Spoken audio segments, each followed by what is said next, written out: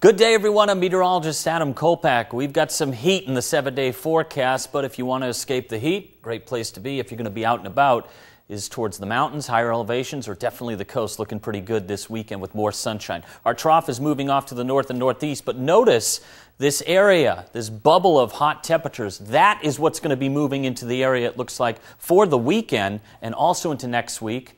We're going to have some uh, plenty of heat, at least in the forecast, and that will continue to build into next week. Our forecast for the coast lows will generally be in the 50s and highs generally in the 60s and 70s for Saturday. We have that north and northwest wind 10 to 30 miles per hour this evening, diminishing and then kicking back up again for tomorrow. Moving inland, the West Valleys, it'll be a cool start with temperatures in the 40s and 50s overall. Highs for Saturday in the 80s and possibly some low 90s. Grants Pass at 57 and 90. I have 52 and 88 for Ashland, 49 and 92 for Yreka.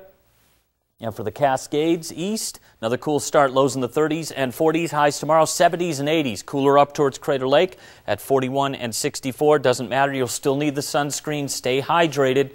Uh, take plenty of breaks, especially coming up in the seven day forecast. Check this out for the Rogue Valley. In the 90s to possibly even low 100s next week. Again, we've got plenty of sunshine. At times, there may be some clouds moving in, or at least passing through.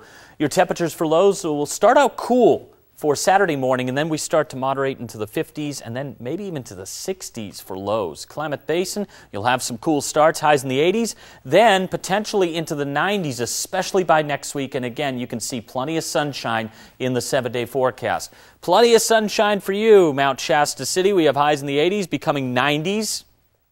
Lows will be in the 40s and 50s. For the most part, we're looking at also sunshine for the coast. Now, at times, there could be some late night morning areas of patchy low clouds or fog, but with the Chetco effect, that's an offshore flow. And that's especially uh, for Brookings and the harbor area, where I have, generally speaking, highs in the 60s and 70s, but some areas under this Chetco effect could be much warmer, especially late this weekend into early next week.